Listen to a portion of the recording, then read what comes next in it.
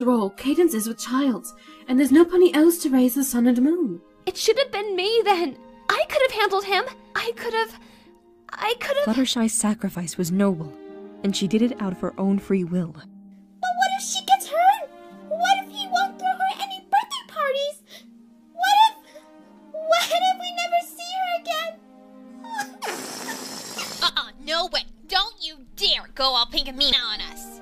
Pinkie's right, though. Who knows what will happen to her? Discord may do terrible things, but he will not harm Fluttershy. How do you know that? Discord has a certain admiration for beautiful things. Unfortunately, he doesn't find much of our world appealing, but it could be possible that Fluttershy... No, this is only a theory. Hold up, hold up.